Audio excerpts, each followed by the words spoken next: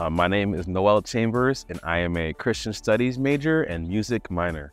I chose to attend CBU to be at a biblically focused type of school. I had two years at University of Delaware. I took a gap year and transferred over here. I told my mom I would not go to any school unless I could study the Bible there, so I came here. I would definitely say Professor Sluniker. I took Pentateuch and the Former Prophets with him, as well as Latter Prophets and Writings. He definitely helped us really chug all of the Old Testament in us in such a short period of time, and I'm so grateful to have learned from him.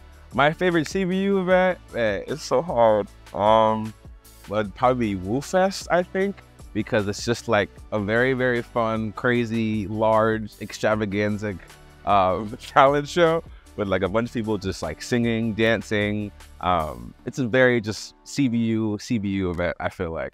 CBU is definitely a place where you can be surrounded by a lot of believers um, who are your age and your age group. Like that's something I never experienced growing up. Before coming to here, I was at a secular college. And so being at a place where you can just talk about God, being at a place where they literally have you go to church on a Tuesday, which is so fire, like going to church on a Tuesday um, and Sunday is a really, really special thing that I don't take for granted at all. CBU definitely has prepared me in solidifying my theology um, and giving me just solid grounds and what I believe in about the Bible, as well as building social skills and just different life lessons that'll take with me forever. Go to the events. Don't be stuck in the books. Like, still stay stuck in your books, but like, go to the events, make friends, experience new things, learn new things, and do not be afraid.